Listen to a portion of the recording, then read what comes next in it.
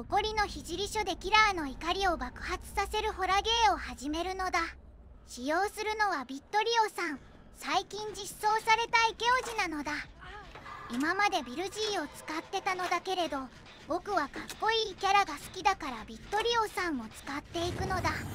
今発動してるのは1エネルギー。発電ゲージを進める代わりにトークンを獲得。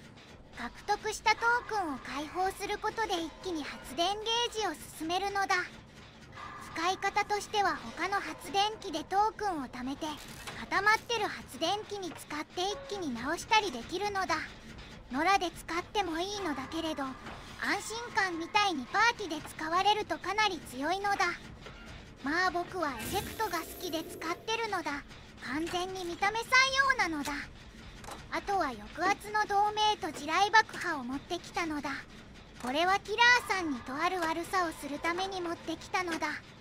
この2つは同時に発動すると抑圧の同盟で発電機をブロックしちゃうから地雷爆破を設置してもキラーさんは発電機を蹴れずブロックが解除される頃には地雷爆破の効果が切れちゃうのだ。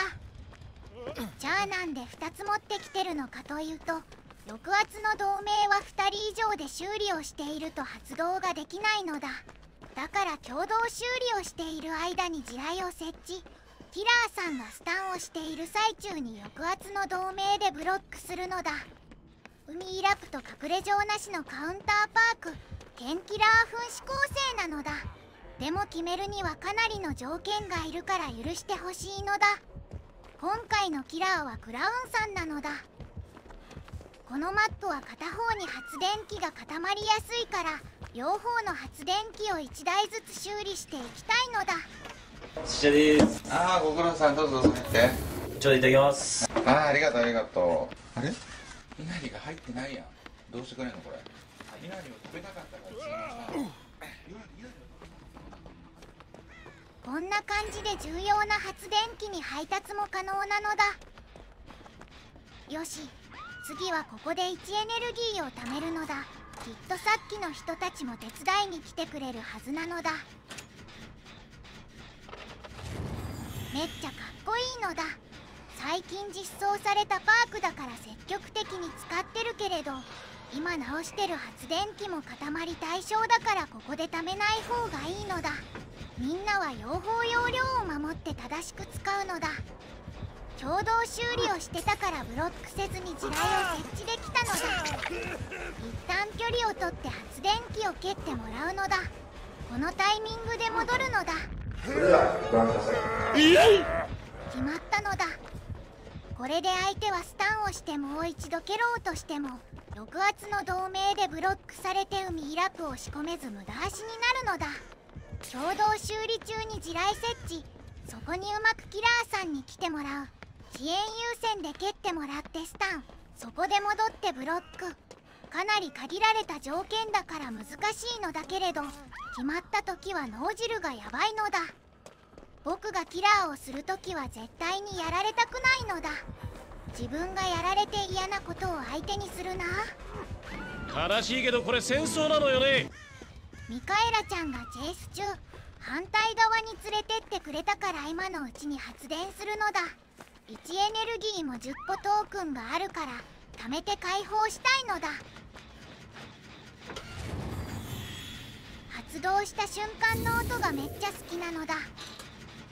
もうそろそろ修理完了するから修理ゲージは味方。にまさかのデッドロックがあったのだ。この発電機くんもブロックされまくってさすがに同情するのだ。延期機さんがいなくなるまで待ってたのだかなり回ってたから海イラプを仕込まれる前に発電するのだ。エフェクト見るのが楽しくて1エネルギーを使ってるけど編集中に改めて見ると結構なトロールかましてるのだ。釣りペースよりも発電ペースの方が早い状況だからまだ許されるのだ。ミカエラちゃんが救助後そのままトンネルされてるのだ。これは一国を争う事態なのだ。エネルギーを貯めてる場合じゃないのだ。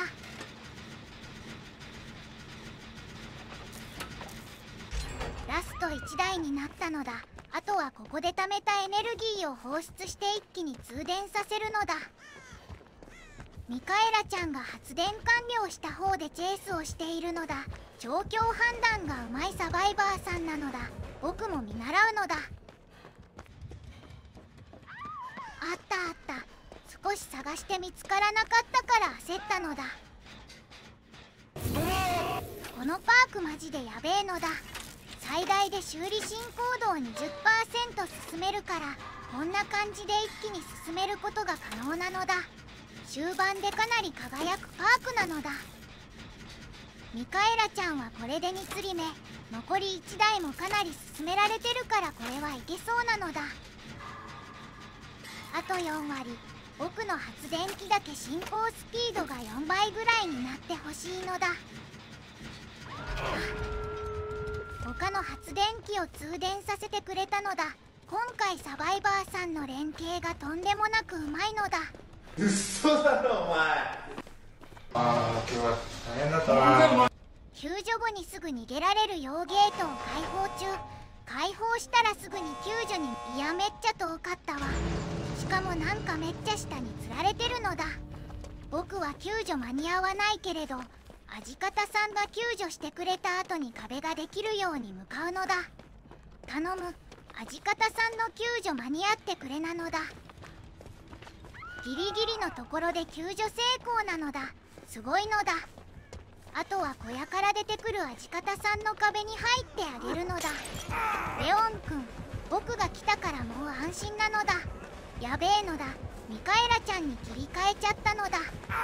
ミカエラちゃんの位置があまり把握できてないからとりあえずクラウンさんの後についていくのだ。